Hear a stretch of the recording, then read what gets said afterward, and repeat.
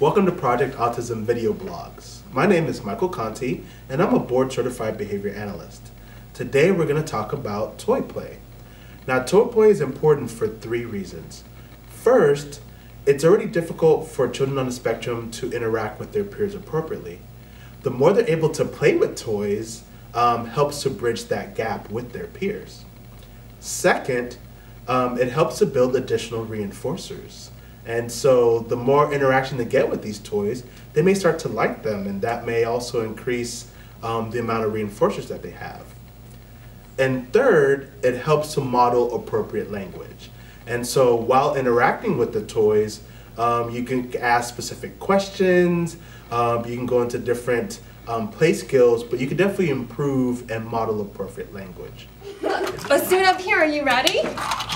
Wait. Come next to me. Ready, set, go. Good work, Johnny. Ready? Set. Go. To crash. It crashed. Crash. Crash. Set, go. Let's do it again. Let's do it again. Good. Ready? Set, go. S. Sun. Leave his eyes on. He's got to see. You're supposed to see. Yeah, he needs to see. We see with our eyes. Mm. Here comes. Here he comes. Watch out. Mm. Crash. Crash. Crash. They crashed. Crash. The cars crashed. Of course. Very good, Johnny. The cars crashed. Ouch. Hey, who crashed? Crash, baby. And Anthony. McQueen. Mater and McQueen crash. Beep, beep, beep, beep, beep, beep. When he backs up, he goes beep, beep, beep, beep, beep, beep. Back him up. What does he say? We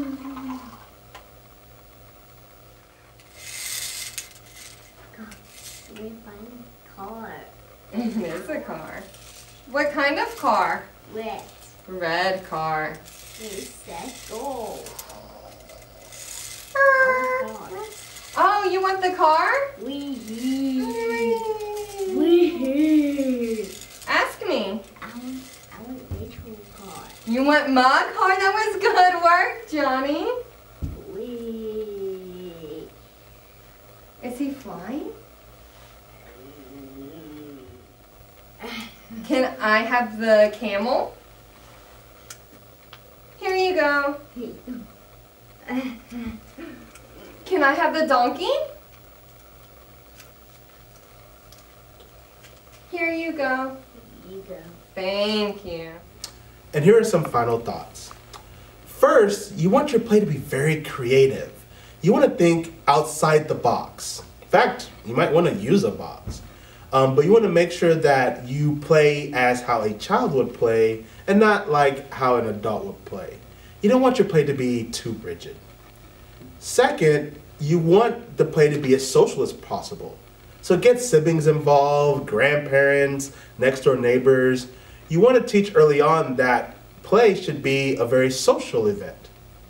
Finally, you want to use the five senses.